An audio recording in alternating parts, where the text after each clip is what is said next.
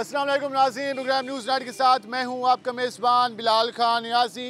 तहरीक अदम अतमाद के हवाले से आज भी हमने देखा कि कौमी इसम्बली का अजलास होना था, लेकिन जो स्पीकर ने आज इजलास सोमवार तक मुलतवी कर दिया। इस हवाले से अगर हम बात करें तो आज मुल्तान की सियासी सूरत हाल की बात करें तो आज जुमे के रोज़ भी सियासी सूरत हाल जो है, वो काफ़ी ज़्यादा हाई नज़र आ रही है। सियासी टेम्परेचर काफ़ी ज़्यादा ऊपर को दिखाई दे रही है। उसकी रीज़न ये है कि पाकिस्तान तहरीक इंसाफ के आज कारकुनान ने मुल्तान के मुख्तलिफ़ इलाकों में रैलियाँ निकालने का ऐलान किया है और इस हवाले से ये कहा है कि वो आज हुकूमत को सपोर्ट करेंगे और सताईस मार्च को इस्लामाबाद का रुख करेंगे। दूसरी जानब अपोजिशन की जानब से भी महँगाई मार्च के हवाले से तैयारियाँ जारी हैं। अपोजिशन भी कह रही है कि वो इस हुकूमत को घर भेजने के लिए हर मुमकिन काविश करेंगे। आज हम आवाम से बात करेंगे, अपोजिशन से भी बात करेंगे, पाकिस्तान तरीके इंसाफ के वर्कर्स से भी और कारकुनान से भी बात करेंगे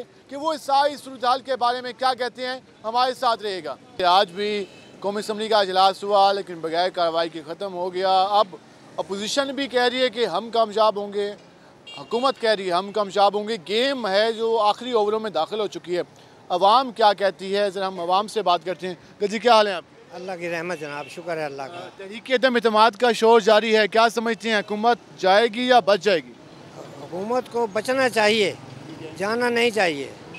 लेकिन अगर थोड़े से अपने मेम्बरान एक्टिव ले आए उमरान साहब तो हुकूमत मज़ीद कामयाब हो सकती है इनकी। ये बात नहीं है। सिर्फ़ मैंने एमोसन डेयर ने कहा है कि मैं हुकूमत के साथ हूँ मैं कहीं नहीं जा रहा। तो क्या समझते हैं जो नाराज़ अरकान हैं वो वापस आ रहे हैं? जी जी नाराज़ अरकिन वापस भी आ सकते हैं ये बात नहीं है। अगर मुखलिस हैं उमरान साहब के साथ तो वापस आना चाहिए उनको। अपोजिशन कहती है महँगाई बहुत ज़्यादा है हम महँगाई के खिलाफ निकले हैं। तो क्या इनके आने से महँगाई नहीं होगी? कम हो जाएगी इनके आने से। कभी नहीं कम होगी। मज़ीद बढ़ेगी। वो कहते हैं कौमी हुकूमत बनेगी जिसमें पीपल पार्टी भी होगी नू लीग भी होगी मुलायम साहब भी होंगे ए एन पी होगी सारी जमातें होंगी। तो वो बननी चाहिए। सर इनको ये काम कर लेने दें अतम अतमाद का। उसके बाद देख लीजिएगा इनकी हालत अपनी देख लीजिएगा एक दूसरे को खुद ये गालम गलोच होंगे। आपस में कह रहे हैं कि उनका आप इतफाक नहीं होगा। भजन क्या हाल है आपके? अल्हम्दुलिल्लाह सर। क्या रहा है? तरीके अदम अतमाद के हवाले से क्या कहना चाहेंगे? ये हुकूमत नहीं जानी चाहिए। क्या इमरान खान साहब छोड़ेंगे अगर दूसरे आएँगे तो फिर भी यही हाल होना है। पहले वाला ही महँगाई और बढ़ जाएगी कर्जा है मुल्क के ऊपर। तो इनको चलना चाहिए मुश्किल वक्त काटना चाहिए। हमें फिर अच्छा रिस्पांस भी मिल जाएगा अगर हम ये देख रहे हैं मुल्क के हालात। पाँच साल पूरे हो जाएँगे तो तब कुछ सामने आ जाएगा कि क्या हुकूमत ने परफॉर्म किया क्या नहीं किया। हाँ जी सामने आ जाएगा सब। सब कुछ सामने आ जाएगा हम और भी लोगों से बात करते हैं। भाजन क्या हाल है आप? अल्लाह का शुक्र है आप सुनाएँ। तहरीक अल्लाह का शुक्र मैं भी ठीक ठाक। तहरीक अदम अतमाद आपने भी देखा होगा उस वक्त सबसे मेन इशू बना हुआ है। पीटीआई वाले दोस्त परेशान हैं अपोजिशन वाले खुश हैं। आप क्या सोच रहे हैं कि आवाम क्या कहती है? देखिए जी आवाम के लिए ये तो टेस्ट है अब कि उन्होंने सही तरफ़ खड़ा होना है या उन दोबारा उन चोरों की तरफ़ ही जाना है जो सिंध में भी इस वक्त पंद्रह साल से तकरीबन हुकूमत है सिंध में। इन तमाम चोरों को इकट्ठा कर दिया सबसे बड़ा जो हमारे नज़दीक है कि इन सब का इकट्ठा होना है इसकी तो कोई वजह है कि एक बंदा ईमानदार है सब इकट्ठे हो गए हैं उसके। अंकल जी ऐसे ही आप समझते हैं हुकूमत ठीक है या अब महँगाई? एक टके की भी नहीं है। इतनी महँगाई की है गरीब आदमी का जीना मुश्किल कर दिया है। और जितने दिन जितने दिन इसका हुकूमत में हुए उससे ज़्यादा इसने झूठ बोले ये मुसलमान ही नहीं है। हम इसको मानते नहीं हैं। आप कहते हैं कि मसाइल हैं परेशानी है जाना चाहिए। चीज़ है ये बिल्कुल झूठा इंसान है। अच्छा आप आप बता दें आप बता दें। आप बताइएगा नौजवान किसके साथ हैं? इमरान खान के साथ। इमरान खान के साथ हैं? इंशाल्लाह। तो क्या कहते हैं हुकूमत सही जा रही है? इंशाल्लाह सही जा रही है। ठीक है। कहना है हुकूमत सही जा रही है? भजन क्या हाल है आपके? जी ठीक ठाक शुक्र अदम अतमाद क्या समझते हैं? नाकाम होगी कामयाब होगी। अगर तो इन्होंने जो है ना वोट इलेक्शन करवाने हैं तो करवाएँ कौम का वक्त क्यों ज़ाया कर रहे हैं? पहले तो बात तो ये है। अगर तो ये कहते हैं हमारे नंबर गेम पूरी है हुकूमत कह रही है तो फिर ये देर भी किस बात की? तो डलवाएँ जान छुड़वाएँ कौम को एक ही चीज़ के है वो डिले कर दिया गया सोमवार तक। जी वो अट्ठाईस तक डिलेड हो गया। ठीक है। अब इनका आगे भी यही होगा भाई आगे और भी डिलेड होता रहे। आप कहते हैं कन्फ्यूज़न ही है कन्फ्यूज़न हर जगह। कन्फ्यूज़न है कन्फ्यूज़न है बिल्कुल ऐसे है। हुकूमत देखो आवाम देखो कहाँ से कहाँ गई खड़ी है। महँगाई दिन ब दिन बढ़ रही है हर बंदा बेरोज़गारी है। हमें एक करोड़ नौकरी भी मिल गई और पचास लाख घर भी मिल गए हमें।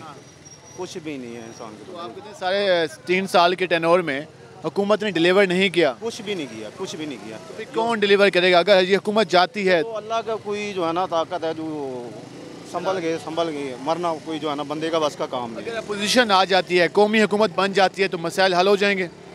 तो कुछ नहीं कह सकते जी। जितना ये इस टाइम तक ख़राब हो चुका है ये तो हमें लगता है अभी जो जो है ना मुश्किल ही है जो पाकिस्तान के हालात हैं। जो हालात हैं इनके ये कहना है मुश्किल ही हैं चाहे जो भी आ जाए इस वक्त आवाम के लिए और हुकूमत दोनों के लिए जो भी इसको संभालेगा मुश्किल होगा।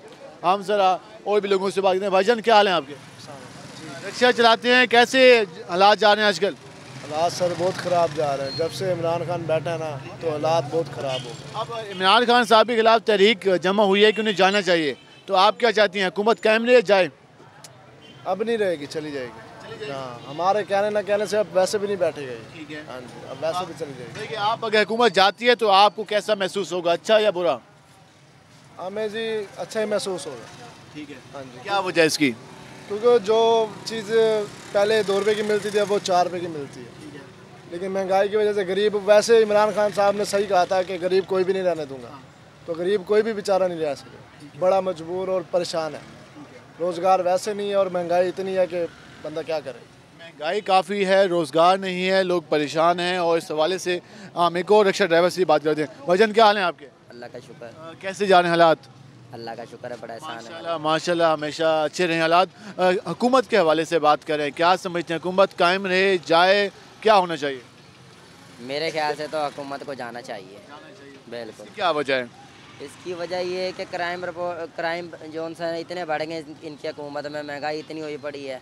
पिछले साल पिछले से पिछले यानी कि इसकी हुकूमत से पहले गैस सत्तर रुपये किलो था अब दो सौ बीस रुपये किलो भरवाना पड़ रहा है। जिसकी वजह से हमें सवारियों से ज़्यादा किराया लेना पड़ता है सवारी किराया नहीं देती। हर चीज़ के रेट हाई हुए पड़े हैं। जहाँ पे आटा हम चालीस रुपए किलो लेते थे वहाँ पर सत्तर रुपए वाइट किलो आटा लेना पड़ रहा है। महँगाई काफ़ी ज़्यादा हो गई है। घी एक चार सौ चालीस रुपये किलो घी अगर हम लेंगे एक किलो आटा लेंगे तो हम क्या कमाएँगे और क्या घर लेकर जाएँगे? अगर इमरान खान चले जाते हैं तो फिर किसको आना चाहिए?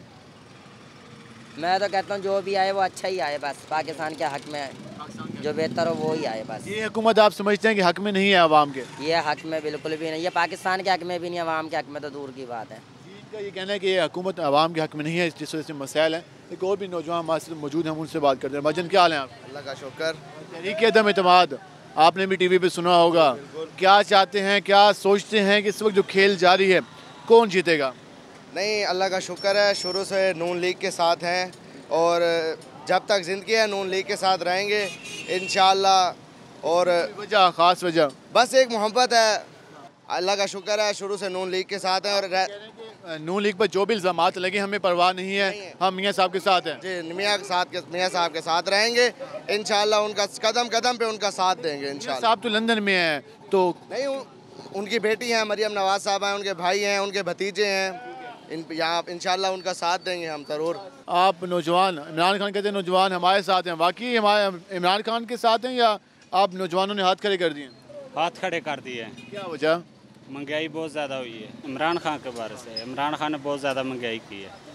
हाँ जी। मुश्किल हो गई है। बहुत ज़्यादा मुश्किल है। तो हुकूमत कायम रहे या चली जाए? चली जाए। हुकूमत अगर जी आप क्या कहना चाहेंगे इस वक्त जो हुकूमत की सूरत हाल है? भाई हुकूमत यही हाल है। बेड़ा घर करता मुरकदा समझ आ गई जी? हाँ नवाज़ शरीफ फिर भी पंजाब रुपये चीनी ही सी। वो कहते हैं साहब का हुकूमत ने कर्जे बहुत लिए थे हालात इसलिए ख़राब हुए। कोई कर्जे नहीं लिए। क्या सोचते हैं ये हुकूमत कायम रहे या अब जाना चाहिए? ये अगर देखा जाए तो एक लिहाज से अपनी मुद्दत पूरी कर चुकी है हुकूमत तो डेढ़ साल तो है। नहीं है लेकिन जो कुछ आवाम ने देखना था वो देख लिया। अब देखने के लिए क्या बचा है? तो अब देखना ये है कि लाया अमल अगला क्या है कामयाब होगी नाकाम होगी? अभी कबल वक्त कुछ नहीं कहा जा सकता। चार दिन की गेम है अब तो। जी फैसला आने के बाद ही पता लगेगा। उम्मीद करते हैं अच्छाई और भलाई की उम्मीद करते हैं। अल्लाह ताला बेहतरी फरमाए। फिर मारूफ का नारा लगा रहे हैं इमरान खान साहब। बस ये सियासी बयान अभी फिल वक्त चलते रहेंगे। जब तक कि कोई खातिर ख्वाह चीज़ सामने नहीं आती तो इन लेकिन क्या हाल है आप? अल्लाह का शुक्र है सर। समझते हैं हुकूमत के बारे में आज बात करें हुकूमत कायम रहेगी या जाएगी? हम तो कहते हैं चली जाए तो बेहतर है भाईजान। क्या वजह? आपके सामने महँगाई कितनी है? जिस चीज़ के ऊपर हाथ रखो डबल महँगाई है। आप खुद अंदाज़ा लगा लो। आप हमारे से बेहतर जानते हो आप हर जगह घूमते हो। महँगाई कहीं हर चीज़ पे घी का रेट चेक कर लो चीनी का देख लो। आलमी तौर पे है हुकूमत कहती आलमी तौर पे आलमी तौर पे हर चीज़ की अगर देखो ना अगर गैर मुल्क के अंदर आप जाओ मजदूरी है कितनी है मजदूर की? इधर मजदूर की लेबर क्या है? वो अगर उनके साथ मिला तो बारह हज़ार पंद्रह हज़ार मुश्किल से कमाते हैं मजदूर। बात ये है ना इधर वो आठ सौ दिहाड़ी है उधर कितनी दिहाड़ी कम से कम पाँच हज़ार दस हज़ार रुपये है। इधर वो कहते हैं, यार उधर जब मेरी बात में पेट्रोल को आप मजदूरी को उधर के साथ मैच करते हो, फिर इधर भी मजदूरी बढ़ाओ। हाँ, एक ही सालू दे रही है। अब हाल हुकूमत ने देनी है मदद कर दिया सालू इन्हें नहीं दिता। पाँच साल हो गया पी कटा डे रहे पिछे। अच्छा तो नून सही सी हाँ, हर शायद सस्ती मिलती सी। कि हो, कि नहीं, हर शायद अच्छा खान में रोटी नहीं लभनी हो भाई? है, बिजली के बिल किन्ने भरे कितने रेट सूरत हाल है, जो आवाम है, वो महँगाई के हाथों परेशान दिखाई दे रही है और इस वजह से जो रद्दमल आ रहा है, कहीं पर शहरों को ये कहना है कि ये हालात आलमी तौर पर इस वजह से है कि महँगाई ज़्यादा हो कहीं पर शहरों का ये भी कहना है कि हुकूमत अपनी गवर्नेंस गुड गवर्नेंस बनाने में नाकाम रही, जिस वजह से आम आदमी को मुश्किल का सामना है। अब मज़ीद भी बात करेंगे, हमारे साथ रहेगा मिलते हैं शॉर्ट ब्रेक के बाद।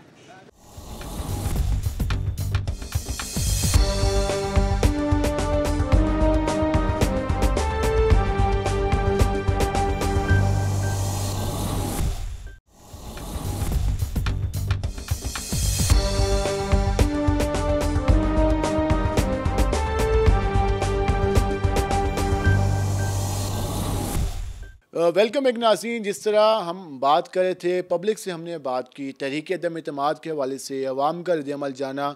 शहरीों की राय सामने आई, जिसमें शहरी कह रहे थे कि हुकूमत को टाइम पूरा करना चाहिए, और कहीं पर शहरियों का ये भी कहना था कि हुकूमत को आप जाना चाहिए, और उसके साथ साथ ये भी सवाल उठाए गए कि इस हुकूमत के जाने के बाद फिर क्या होगा? क्या महँगाई कम हो जाएगी?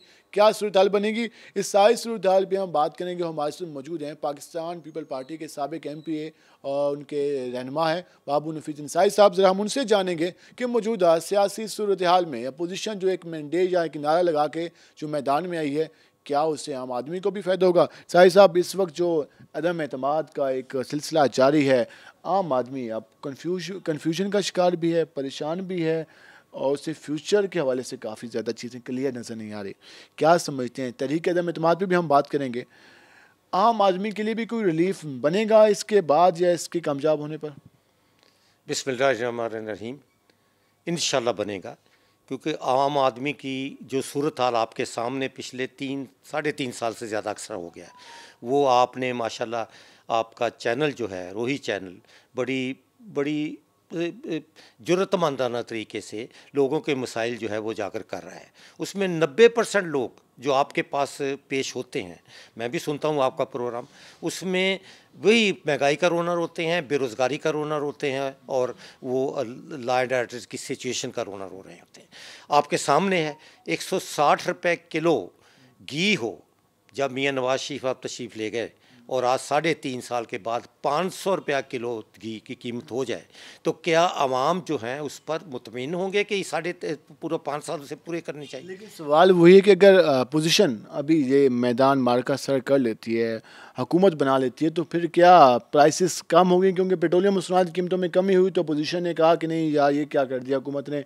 ये तो आलमी मार्केट में तो बजट पे दबाव आएगा तो फिर कैसे मैनेज करेगा? कोई प्लान मौजूद है पोजीशन के पास? बिल्कुल उन्होंने हुकूमतें की हैं, मुस्लिम लीग नून ने भी, पीपल्स पार्टी ने भी, और जो अपोजिशन है मतलब अपोजिशन का प्लेटफार्म है, उन्होंने किसी न किसी सूरत से हुकूमतों में रहे हैं और अपोजिशन का किरदार भी अदा किया है। उन्हें उन्हें सारे अवामल, सारी मुश्किल और सारे उसके हल का उन्हें पूरी तरह पता है कि किस तरह हल होंगे।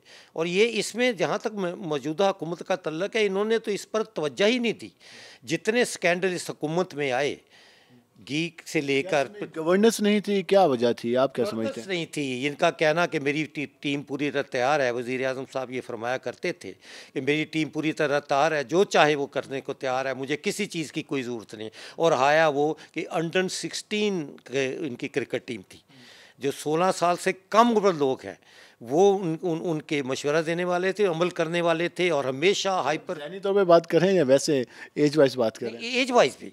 एज वाइज क्या है? जो देखिए मैं नाम तो नहीं ले सकता लेकिन आप जानते हैं। एज वाइज भी ऐसे थे जो जो उन्होंने जहनी तौर पर लिए वो उससे भी गए गुजरे थे।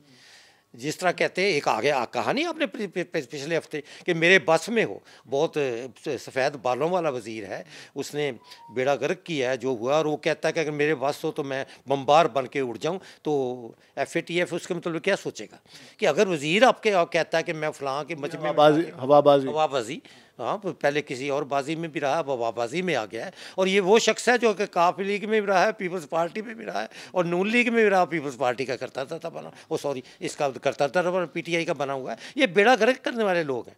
अब देखें, ये कितना वो गया है। काफ लीग से वहाँ गया पहले काफ इसमें आप बिल्कुल ये बातें आप बजा फरमा रहे होंगे। अपोजिशन को मसाइल का दारक है इस वजह से मैदान में निकली है। हुकूमत के पास कोई विजन नहीं था।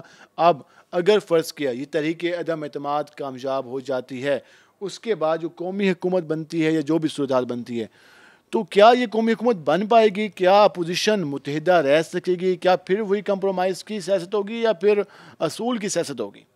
नहीं, मुझे उम्मीद है और अवाम भी इस पर तो रखते हैं। और ऐसा होना होना भी है कि जो मसाइल इस उजागर करके गए हैं या जो मसाइल बता, बताया नहीं, जिन, जो मसाइल पैदा करके गए हैं, उससे नामुमकिन है कि कोई एक शख्स या एक पार्टी जो है, उनका, उनके मसाइल हल कर सके अवाम के। इन ताला पूरी अपोजिशन मुतदा तौर पर आवाम की फलाह बहबूद को, के लिए एक अच्छे मनसूबे लेके आएगी, उस पर अमल दरामद करेगी और इन ताला पाकिस्तान को बेरोज़गारी से भी निकालेगी और उसके साथ साथ महँगाई की चिक चक्की में जो आवाम पिसे हुए हैं और उस, उनसे निजात दिलाएगी सारी सूरत में Pakistan people party front line पर नज़र आई, चाहे वो लॉन्ग मार्च के हवाले से हो, चाहे वो सिंध हाउस के हवाले से बात हो इल्ज़ाम के हवाले से हो, वोटों के ख़रीदने के इल्ज़ाम भी पीपल पार्टी ने अपने सर लिए। तो पीपल पार्टी इतना एग्रेसिव स्टांस ले हुए है, बाकी अपोजिशन की नस्बत, बाकी वो देखभाल के खेल खेल रहे हैं। तो क्या वजह समझते हैं कि पीपल पार्टी क्यों खुल के मैदान में आई हुई है? जहाँ तक आपका ये फरमान कि उन्होंने वोट ख़रीदे हैं और उन्हें इल्ज़ाम तो लगा है। कोई इल्ज़ाम नहीं है। इल्ज़ाम कभी लगता ही नहीं। मैं भी रहा हूँ इस पार्लियामेंट के मेंबर रहा हूँ और बड़े औरों पर भी रहा हूँ। इम्पॉसिबल है कि कोई आदमी बिके।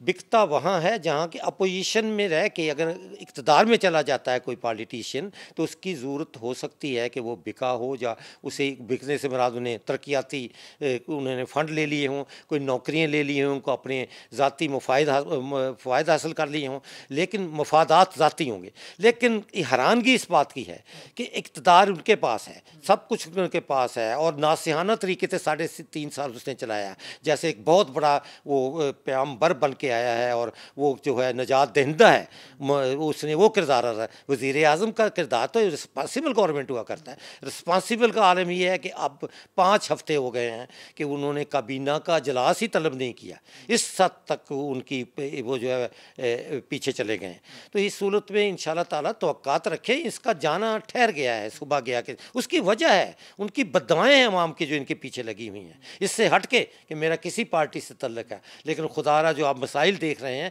उस मसाइल से उज़ा भरा होने के लिए एक बहुत बड़े हंगामी प्रोग्राम की ज़रूरत है। इस, और वो मौजूदा अपोजिशन जो है। कहती है कि हमारे अरकान को ख़रीदने की कोशिश की गई, बोलियाँ लगाई गई, नोटों की बोलियाँ खोली गई। हमारे अरकान को कहा गया कि आप वोट दें, हम आपको टिकट देंगे। तो ये जो सियासत है वहाँ से पाकिस्तान तक इंसाफ ने भी नून लीग के जो पंजाब असम्बली के अरकान थे उनको भी अपने साथ मिलाने की कोशिश की। ये जो हमारे यहाँ सियासत है कि पार्टी के अंदर ग्रुप बंदी कराई जाए या फॉरवर्ड ब्लाक बन, बनवाए जाए इस सियासत को आप क्या नाम देंगे? बहुत इसमें सूरत ये है कि जहाँ तक अपोजिशन की किरदार अपना होता है। अपोजिशन होती है शेडो कैबिनेट वो अपने मामला को उजागर करने के लिए ऐसा किया करती है। लेकिन हुकूमत में हमने जो देखा है, हुकूमत के पास लालच भी होता है उहदों का लालच भी होता है, उनके पास माली वसाइल भी होते हैं जिससे वो करता है।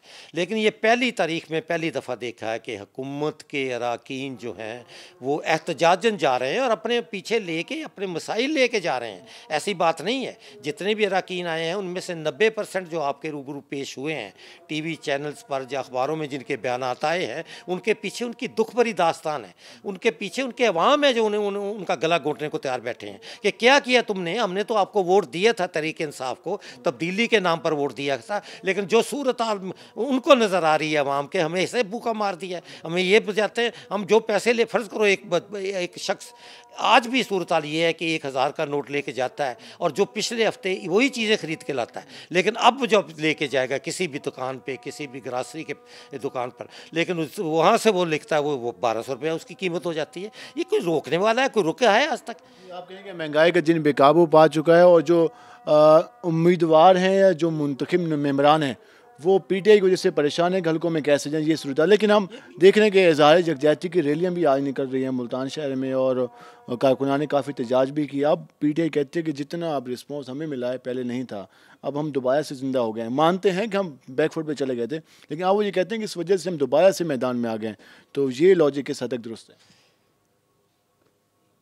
मैं इससे कतन मुतफिक नहीं हूँ। ये एक मॉब थी। तहरीक इस इंसाफ को मैंने आज तक पार्टी नहीं समझा। मॉब थी नौजवानों का एक सिलसिला था, बेरोज़गारी थी, कुछ मसाइल से वो आगे आके बढ़े। उन्होंने इनकी इनकी, इमरान खां की हाँ में हाँ मिलाई और ओए कहना शुरू कर दिया। एक गुस्ताखाना ज़बान में बात करने लग गए, जिससे एक मॉब जो है, वो उन्होंने ओए आए करके बात ख़त्म हो गई।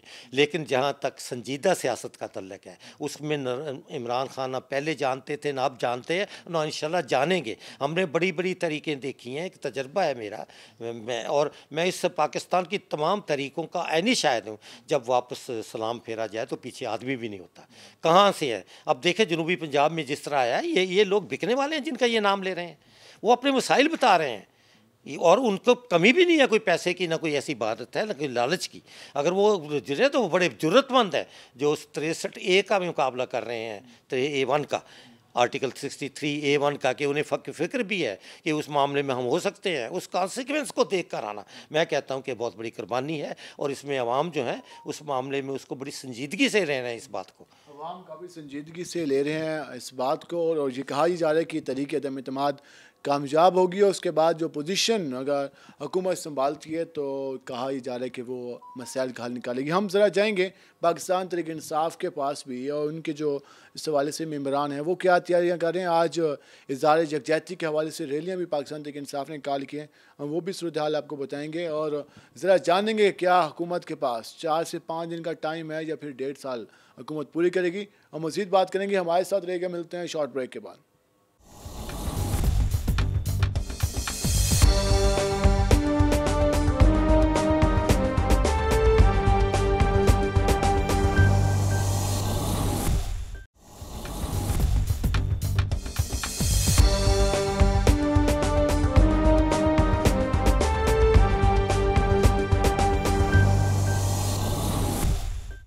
वेलकम एक नाजीन जिस तरह आज हम बात करें तरीके अदम अतमाद के हवाले से, पब्लिक का रद्दमल भी आपने देखा अपोजिशन की भी गुफ्तु जानी। हुकूमत इस वक्त जो क्या करने जा रही है, आने वाले दिनों में क्या होने जा रहा है, मुल्तान में आज पाकिस्तान तरीक इंसाफ ने वजी इमरान खान से जो यकजहती का इजहार करने के लिए रैलियों का ऐलान किया और उस वजह से तैयारियाँ भी जारी हैं। इस पर बात करने के लिए हमारे साथ मौजूद हैं तर्जमान वजी पंजाब, पाकिस्तान तरीक इंसाफ के एम पी ए नदीम कुशी साहब, ज़रा हम उनसे जानते हैं। कि वो मौजूदा सूरत हाल के बारे में क्या कहते हैं? कोई साहब इस वक्त जो दिन जारी हैं आप लोगों के, काफ़ी मुश्किल सूरत हाल है, परेशानी भी है। क्या ये चार पाँच दिनों की बात है, आपकी हुकूमत रहेगी या डेढ़ साल पूरा करेगी आगे? अब रही नैसा भी शुक्रिया आपका, और मैं रोही का भी शुक्रगुजार हूँ कि आप गाहे बगाहे हमें भी, हमारा मौक़ भी दोस्तों के सामने पेश करने में हमारी मदद करते हैं। देखें, सदा बादशाही अल्लाह ताला की है, आने वाले किसी एक पल का भरोसा भी नहीं है। लेकिन जो हालात इस वक्त बने हुए हैं, पाकिस्तानी अवाम को एक चीज़ का फ़ैसला करने में बड़ी आसानी हो गई कि जो शख्स ये कहता था कि पाकिस्तान दो कानून के साथ नहीं चल सकता, ड्यूल यहाँ जो कवानीन है कि गरीब के लिए और कानून, ताकतवर के लिए और कानून। आज पाकिस्तानी अवाम ने देख लिया कि कौन शख्स है जो कश्मीर का झंडा हाथ में लेकर पूरी दुनिया को बबांग ये कह रहा है कि पाकिस्तान के साथ भी आलमी दुनिया को वही रवैया रखना चाहिए जो हिंदुस्तान के साथ रखती है। कौन शख्स है जो नामू से रिसालत सल्लल्लाहु वसलम का परचम जिसने उठाया और पूरी दुनिया से ये बनवाने में कामयाब हो गया कि इस्लामोफोबिया एक मर्ज़ है। जब आप हमारे नबी पाक सल्लल्लाहु अलैहि वसल्लम की गुस्ताखी का सोचते हैं, हमारे दिलों को बड़ी तकलीफ़ होती है। कौन शख्स है जिसने कराची से पिशावर तक, गिलगत से कोयटा तक, पाकिस्तान की आवाम को ये यकीन दिला दिया कि मौजूदा अपोजिशन में बहुत बड़ी तादाद उन लोगों की है जो 40 साल पाकिस्तान के वसाइल पर इकतदार में रहे। तो आपकी जमात में भी काफ़ी ज़्यादा लोग ऐसे हैं जो कि बाकी जमातों से आए। चालीस साल वो भी इकतदार में रहे तो फिर इस बयानी में तो तजाद नहीं आएगा? कतन तजाद नहीं आएगा। तजाद उस वक्त आता है कि जब कोई शख्स बतौर रुकन असम्बली अपना ज़मीर बदलता है अपनी आइडियालॉजी बदलता है अपना रवैया बदलता है। मैं रुकन असम्बली हूँ अगर मैं अपनी जमात के लोगों की हक के राय दही के ख़िलाफ़ वोट करने जाऊँगा, अगर मैं अपने, अपनी जमात के लोग जिन्होंने मुझे पाँच लाख लोगों ने मुझे मुंतकिल करके रुकन असम्बली बनाया है, मुझे किसने राइट दिया कि मैं खुद फैसला करूँ? हाँ हमारी आपने जो सवाल किया, आप बात काटूँगा आपकी, तर्जमान भी आप रहे वजी पंजाब के, नून लेके पाँच एम पी एस जब वजी अला पंजाब से मिलते हैं प्राइम मिनिस्टर के पास जाते हैं तो वो भी तो पार्टी चेंज करने की बातें हो रही हैं, वो भी तो पार्टी बयानी से हट के बात हो रही है। अब क्यों इख्तलाफ? अब क्यों कहा जा रहा है कि ये पार्टी पॉलिसी से हट के बात की जा रही है? दोनों बातें ऐसा बिल्कुल मुख्तलिफ़ हैं। देखें किसी रुकन असम्बली का मंतखब होकर अपने अवामी मसाइल के हल के लिए किसी मिनिस्टर के पास चीफ मिनिस्टर के पास या प्राइम मिनिस्टर के पास जाकर लोगों के मसाइल के हल की कोशिश करना एक और बिल्कुल मुख्तलिफ़ बात है। और एक जमात के मैनोफस्टे पर मुंतखब होकर, एक जमात के मनशू पर मुंतखब होकर, एक जमात के लोगों की आइडियालॉजी के ज़रिए वोट के ज़रिए असम्बली में पहुँच कर उस आइडियालॉजी के ख़िलाफ़ वोट करना बिल्कुल मुख्तलिफ़ बात है। एक तो मैं आपको, आपके पहले सवाल का जवाब अर्ज़ कर दूँ। आपने कहा जी कि आपकी जमात में भी दूसरी जमातों से लोग आए हुए हैं। बिल्कुल हमारी जमात में लोग आए, उन्होंने अपनी अपनी अपने उहदों से रिज़ाइन किया। आपको याद होगा जब जावेद हाशमी साहब ने पाकिस्तान तहरीक इंसाफ ज्वाइन की थी, अपने अहदे से रिज़ाइन किया था, अपनी सीट छोड़ी थी। शाह महमूद कुरैश साहब ने पाकिस्तान तहरीक इंसाफ ज्वाइन की थी, नेशनल असम्बली की सीट छोड़ी थी। ये एग्जाम्पल्स हमारे सामने हैं। जो लोग हमारी जमात में हैं, उन्हें हमारी जमात के किसी मैनोफेस्टो से अगर इख्तलाफ है, उनको चाहिए वो जमात छोड़ दें। अव्वल तो मैं ये चाहूँगा। वो कहते हैं हमें गिला था हमने अपना दुख बयान किया हमें काफ़ी दुखी था। जैसे अहमद डेरा कहते हैं मैं काफ़ी दुखी हूँ मैं परेशान हूँ मुझे गिला है। उसकी बुनियाद पर आप कहते हैं वो लोटा हो गया है उसके खिलाफ एहतजाज किए जाते हैं। तो जो दुखी मेंबर है तो उसकी दुख का मदावा किया जाए ना कि उसको निकाला जाए। देखिए अहमद हसन डेहर साहब बहुत अच्छे इंसान हैं। मैं उनकी इज़्ज़त भी करता हूँ मैं उनका एहतराम भी करता हूँ मैंने भी एहतजाज किया। सब मुल्तान में एहतजाज का आगाज़ शायद एज ए पोलिटिकल वर्कर मैंने ही किया, हमारे बाकी अरकान असम्बली ने इस एहतजाज से अवॉइड किया, उनकी अपनी मसलहत होगी। मैं ये समझता हूँ कि मुझे अगर लोगों ने वोट देकर मुंतखब किया और मेरे कुछ मसाइल हैं, आप यकीन करें मैं मुल्तान के सबसे मुश्किल हल्के से, गुंजान आबाद हल्के से मुंतखब रुकन असम्बली हूँ। आप अंदरून शहर चले जाएँ, आप मकरान कॉलोनी चले जाएँ, आप शरीफपुरा चले जाएँ, आपको मसाइल के अंबार नज़र आएँगे। आपने भी बड़े प्रोग्राम किए हैं। ये किसी भी एक फ़र्द के लिए मुमकिन नहीं है कि सत्तर साल के मसाइल को वो एक दिन में हल कर दे। मुझे कदम कदम पर मुश्किल का सामना करना पड़ा। विद इन द पार्टी भी आउट ऑफ़ द पार्टी भी पार्टी की लीडरशिप में भी। लेकिन इसका मतलब ये नहीं है कि मैं इस मुश्किल वक्त में अपनी पार्टी के ख़िलाफ़ खड़ा हो जाऊँ अपनी पार्टी के ख़िलाफ़ बातें टेलीविज़न पे करूँ अपनी पार्टी के ख़िलाफ़ लोगों को आ, लोगों को मैं डिस्टर्ब करूँ। इख्तलाफ राय का मतलब होता है within the party Ahmad Hasan Dehar साहब ने और मैंने बहुत सारी पार्लिमानी पार्टीज़ की मीटिंग्स इकट्ठे अटेंड की। अहमद हसन ढेर साहब और मैं डीसीसी के मेंबर्स हैं, जहाँ तमाम अरकान असम्बली डिस्ट्रिक्ट लेवल पे अपने एक एक इशू को हल करने की कोशिश करते हैं। आप बिलीव करें, मैं दिल की गहराइयों से अहमद हसन ढेर साहब के इन बयान की इज़्ज़त करता हूँ, जो उन्होंने अब कहे कि मैं पार्टी के साथ हूँ। अगर वो पार्टी के साथ है, मैं इन्हें एहतजाज किया था, मैं ही उनके घर के बाहर जाके पोर्ट्रेट अपने हाथ से आवेज़ा करूँगा इन ताला, क्योंकि हमें उनकी ज़ात से इख्तलाफ नहीं है। हमें उनकी आइडियालॉजी से इस, देखिए नदीम कुरैशी एक आम शख्स था। मुझे इमरान खान ने बल्ले का टिकट दिया, मुझे लोगों ने रुकने असम्बली बना दिया। मेरा दिल, मुझे किसने ये हक दिया? मैं चार लाख लोगों के अरमानों को कुचलूँ मैं लोगों के जज्बात के ख़िलाफ़ जाऊँ? हाँ इंतब आएँगे। हर शख्स को हक है। वो फैसला करे। अच्छा पंजाब से भी काफ़ी ज़्यादा इख्तलाफ की बातें हो रही हैं पार्टी में। अगर हम साउथ पंजाब की बात करें डी जी खान डिवीज़न की बात करें तो डी जी खान डिवीज़न में ख्वाजा शराज की बात कर लें, अगर बासिर बुखारी की बात कर लें, मुल्तान में ठीक है राना कासिम नून आ जाते हैं, लेकिन वहाँ से गोपांग साहब की बात कर लें तो जियाला साहब से क्या अपना डिवीज़न ही नहीं संभाला गया कि उनके डिवीज़न से तीन से चार एम एन ऐसे बयान दे रहे हैं जैसे वो पार्टी छोड़ने के जा रहे हैं? तो इसकी क्या रीज़न समझते हैं आप? नहीं, सब इसके दोनों पहलू हैं। देखें मैं ये तो नहीं कहूँगा कि आइडियल सिचुएशन है। इश्यूज़ तो हैं। अरकान असम्बली जब वोट लेकर असम्बलियों का हिस्सा बनते हैं, लोगों की तो का लेवल उनसे बहुत ज़्यादा होता है। मैंने ये इमरान खान साहब को भी की गवर्नर हाउस में की, और मैं कहता हूँ, अपनी क़्यादत से विद इन द पार्टी एहतजाज ना करना और मसाइल की निशानदेही ना करना भी दुनिया की सबसे बड़ी मुनाफ्त है। खुदा की कसम मैंने इमरान खान साहब के सामने भी, मैं कसम खा कर कह रहा हूँ, और मैंने वज़ीर उस्मान बुजदार साहब के सामने भी। बहुत सारे मसाइल की निशानदेही की हम सब करते हैं। मलिक आमिर अगर सब करते हैं, हम शाह महमूद कुरैसी हमारे लीडर हैं, हम उनसे भी करते हैं। मैं यकीनन ये बात को मानूँगा, मैं ये नहीं कहूँगा कि आइडियल सिचुएशन है। हमारे अरकान असम्बली के इशूज़ हैं, क्योंकि हमारी लीडरशिप में जब लोग टॉप लीडरशिप पर आते हैं तो वो पूरी अपनी जिम्मेदारियाँ, कोशिश करते हैं कि ब्यूरोसी के ज़रिए चलाएँ। मुश्किल वक्त में ये अरकान असम्बली ही उनके साथ खड़े होते हैं। आज पाकिस्तान के चप्पे चप्पे में जो शख्स खड़ा है ना इमरान खान के साथ, वो इमरान खान का फॉलोअर है। इमरान खान का सिपाही है इमरान खान का वर्कर है। लेकिन ये बदनसीबी है हमारी लीडरशिप की माइंड सेट की कि वो वो आम कारकुन को या वर्कर को या एम एन एम पी इसको भूल जाते हैं और अपने उसमें इकतदार में इंजॉय करने लग जाते हैं। सौ फ़ीसद ऐसा ही है जी सौ फ़ीसद ऐसा ही है। लेकिन लेकिन इसका ये मतलब नहीं है कि मैं चौक पर खड़ा होकर अपनी पार्टी के मैनिफेस्टो के खिलाफ बात करूँ। मैं गली कूचों में अपने लोगों को डिसाइड करूँ। हमारे पास एक फोरम है। एक चीज़ अर्ज़ कर दूँ उस्मान बुजदार साहब से किसी को कोई भी शिकवा हो उस्मान बुजदार एक शरीफ इंसान है। और उन्होंने पंजाब की खिदमत की है। उनका डिस्ट्रिक्ट डेवलपमेंट प्रोजेक्ट जो है, जो मुल्तान के, पंजाब के छत्तीस के छत्तीस अजला के लिए इकट्ठा एक वक्त में तरक्याती प्रोजेक्ट है, इसकी मिसाल माजी में नहीं मिलती। आप साउथ पंजाब सिविल सेक्रेटेरिएट की, मुल्तान और भावलपुर में जो जो जो ये शुरू हुआ है, इसका क्रेडिट उस्मान बुजार के अलावा आप इमरान खान और शाह महमूद के अलावा किसी को नहीं दे सकते। ये इन्हीं तीन चार लोगों की शदीद मेहनत थी जिसकी वजह से ये सब कुछ हुआ। मैं समझता हूँ, अगर मुझे अपनी जमात से या अपनी लीडरशिप से कोई शिकवा है भी सही पार्टी के अंदर करना चाहिए वैसे पार्टी के अंदर करना चाहिए। दूसरी सूरत दूसरी सूरत बड़ी दिलेरी वाली है। वो फिर आपको जावेद हाशमी और शाह महमूद को ऐसे वाला रास्ता अख्तियार करना चाहिए। हाशमी साहब की तो खैर ट्रैक बिल्कुल चेंज हो गया। शाह महमूद साहब ने अपनी स्ट्रगल से अपनी जदोजहद से इस पार्टी को ना सिर्फ़ एक नई जिला बख्शी बल्कि आज जब मैं आपसे गुफ्तु कर रहा हूँ आज पाकिस्तान तहरीक इंसाफ ने नेशनल असम्बली के मौजूदा सेशन में जनूबी पंजाब को बाकायदा सूबा बनाने के लिए बिल टेबल कर दिया। और मैं आज रोही के तवसत से, न्याय साहब के तवसत से, साउथ पंजाब के पीपल्स पार्टी, पीएमएलएन की उस लीडरशिप से दरख्वास्त करूँगा।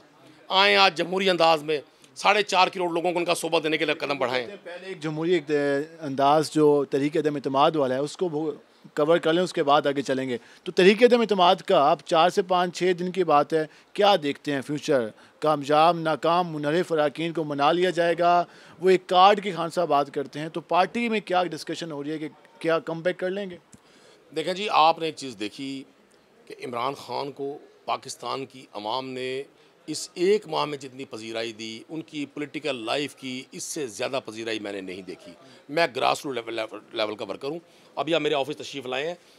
ये सैकड़ों लोग, आज फोर्टी टेम्परेचर है, ये इमरान खान के लिए आए हैं, मेरे लिए नहीं आए। आज हमारी मुल्तान में एक्टिविटी है, तमाम अरकान असम्बली अपने अपने हलकों से। इमरान खान जिंदाबाद रैली निकाल रहे हैं। और मुझे, मैं गरीब का नुमाइंदा हूँ, मैं रेडी पर भी बैठता हूँ, फट्टे पे भी बैठता हूँ, बड़े शॉप्स पे भी जाता हूँ। मैंने लोगों को इस इस जंग में इमरान खान के साथ पाया। लोग ये समझते हैं कि इमरान खान के साथ ज्यादती हो रही है। आप जब एक तरफ़ ये नारा लगाते हैं, वोट को इज़्ज़त दो तो फिर आप सिर्फ़ साढ़े तीन साल बाद ही आपके पेट में ऐसा मरोड़ क्या शुरू होता है? आपको ऐसी कौन सी तकलीफ़ शुरू हो जाती है कि आप चाहते हैं कि सिस्टम सबूत आ जाओ मैं उन लोगों की बात कर रहा हूँ जो वोट की बजाय नोट को इज़्ज़त देते हैं, जो इस्टेब्लिशमेंट के ख़िलाफ़ बातें करते हैं और जब मौका मिलता है तो बूट चाटने से भी गुरेज नहीं करते। आज डिफरेंट वेज से पाकिस्तान की पाकिस्तान के अला इदारों के ख़िलाफ़ कंपेन की जा रही है। आज आप देखिए एफ़ आई ए मुतरक है गवर्नमेंट ऑफ़ पाकिस्तान मुतरक है। हम उन सारे लोगों को चेक कर रहे हैं जो लोग ये सारा जो कंपेन जारी है। जो कंपेन कर रहे हैं। मैं आपको अर्ज़ कर दूँ हमने तरीके दम अतमाल का मुकाबला कर रहे हैं जी। मैं ग्रास रूट लेवल का पोलिटिकल वर्कर हूँ। मैंने इमरान खान साहब को ज़ाती तौर पर भी पैगाम दिया। जो भी होंगे आप लोग साथ कर रहे होंगे। सर नतज जो भी हों अगर करबला में खान वादा हुसैन यजीद से कंप्रोमाइज़ कर लेता तो दुनिया भर क़्यामत तक के लिए जद्दोजहद के रास्ते बंद हो जाते हैं। मुझे सौ फ़ीसद यकीन है, जिस शख्स के हाथ में मोहम्मद मुस्तफ़ा वसल्लम की नामूस का झंडा है, जिसका टारगेट पाकिस्तान है। देखें, इमरान खान पूरी दुनिया से कह रहे हैं कि जी, आपके कवानीन, आपके जबते, आपके कायदे हिंदुस्तान के लिए मुख्तलिफ़ क्यों हैं, पाकिस्तान के लिए मुख्तलिफ़ क्यों हैं? यार, इससे बड़ा पाकिस्तान का एम्बेसडर क्या होगा? अभी आपने सत्तावन मुल्कों की मेज़बानी की। ओ आई सी में हमारे इस्लामी ममालिक के सारे वज्रा खारजा और उनके वफूद पाकिस्तान आए। आज पाकिस्तान में जिस मैं आपसे गुफ्तु कर रहा हूँ, पाकिस्तान और ऑस्ट्रेलिया का मैच, टेस्ट मैच, आज आखिरी दिन है उसका। कितने शानदार माहौल है, ये मुल्क आगे बढ़ रहा है। हमारी फॉरेन रेमिटेंसेस बढ़ी हैं। हमारे नेशनल रिजर्व्स बढ़े हैं हमारी हमारी एक्सपोर्ट्स बढ़ी हैं हमारे मुल्क में इंटरनेशनल फिगर्स के मुताबिक बेरोज़गारी कम हुई है। सिर्फ़ एक महँगाई फैक्टर था जिस वजह से अवाम नलान दिखाई दी। अच्छा आज आज अपोजिशन लीडर शहबाज शरीफ साहब से एक नि- निजी चैनल ने इंटरव्यू किया। आज सुबह की बात मैं सुन रहा था। उन्होंने कहा जी आपके पास महँगाई कम करने का कोई फार्मूला है? तो शहबाज शरीफ साहब ने कहा ये सुन लें आप। मैं चैनल का नाम लूँगा तो आप लोग काट देंगे, आप पूछ सुन लें। उन्होंने कहा, जी, हम, हम- मेरे पास कोई फार्मूला नहीं है। पेट्रोल का रेट तो इंटरनेशनल है। मैं कैसे कम कर सकता हूँ? एडिबल ऑयल के रेट तो इंटरनेशनल है। मैं कैसे कम कर सकता हूँ? ये महँगाई एक पॉपुलर स्लोगन था। ये पॉपुलर नारा था अपोजिशन का गवर्नमेंट को डिच करने के लिए। अगर किसी शख्स ने लॉन्ग टर्म बेसिस पर इस मुल्क में काम किया है किसी, इस मुल्क को मुआशी तौर पर मुस्तकम करने के लिए काम किया, वो इमरान खान है। के आपको शुक्रिया, आपने वो निकाले नाजीन आपने गुफ्तु जानी पाकिस्तान तक इंसाफ के पी इनका ये कहना था कि हुकूमत इस बुरान से ज़रूर निकलेगी और जो आवाम के हवाले से, जो आवाम की तो हैं, उनको भी पूरा किया जाएगा। आप देखना यह है कि आइंदा हफ़्ते में मुल्क की सियासी सूरत हाल किस रुख में जाती है? क्या पाकिस्तान तरीक इंसाफ की हुकूमत बरकरार रहती है? या आगे मुश्किल हालात का सामना करना पड़ता है? ये आने वाले दिनों में क्लियर हो जाएगा। आज के प्रोग्राम से अपने मेज़बान बिलाल खान याजी को इजाज़त दीजिए अल्लाह नगेबान बान